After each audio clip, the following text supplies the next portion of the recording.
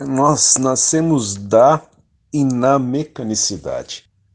Somos jogados nesse modo mecânico de viver pelos adultos que não tomaram consciência dessa mecanicidade que produz um viver imitativo, superficial, protocolar.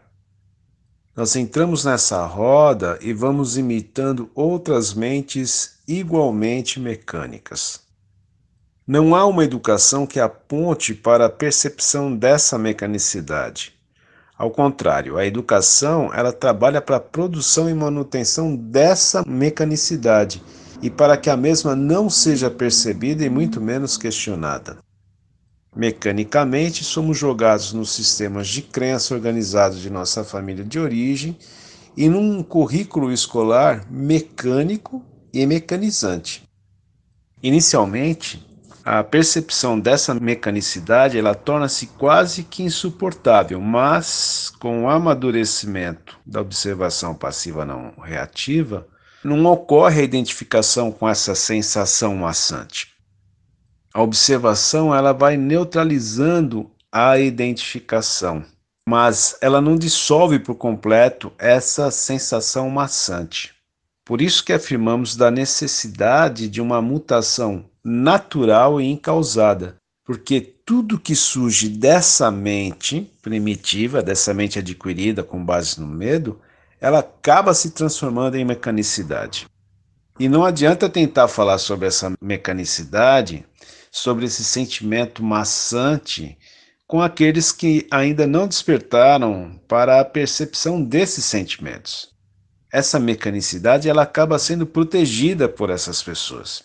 O filme Matrix deixou isso bem claro, usando como arquétipo dessa mecanicidade os sentinelas como máquinas com movimentos frenéticos. Há também aquela passagem em que o Morpheus caminha com o Neo pela Matrix e vai falando, tá vendo? Todos esses aqui, ó, engenheiros, eh, professores, médicos, pastores, né?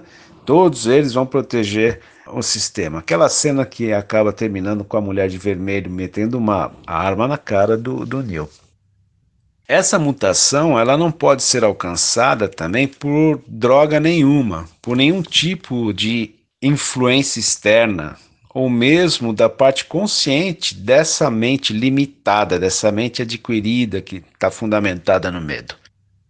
Toda influência externa não resulta, ela não funciona, porque ela mostra-se sempre como algo efêmero, passageiro, portanto ilusório.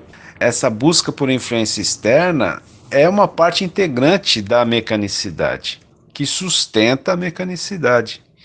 Então, essa mente estúpida, limitada, imitativa, mecânica, nos mantém enredados nessa teia de um cotidiano mecânico, de relações, de compromisso, família, trabalho, expectativas cultivadas, necessidades fabricadas, onde se percebe, quando o olhar está mais apurado, a ausência de autenticidade e de conexão verdadeira com tudo e com todos. Então, em última análise, nós estamos reféns dessa mente primitiva, dessa mente mecânica. E nós não temos como alterar a nossa realidade cotidiana de modo substancial por meio dessa mente primitiva. Então, se não ocorrer uma mutação natural, encausada pelo nível consciente dessa mente primitiva, esse consciente bem limitado, né, permanece só a opção da observação não reativa diante de tanta estupidez constatada tanto no movimento interno como no movimento externo. Essa mente primitiva, ela não tem como saber o que é a real realidade de viver, uma realidade que não seja prisioneira da mecanicidade e da superficialidade. Ela é totalmente incapaz de tocar o que quer que seja com significativa profundidade.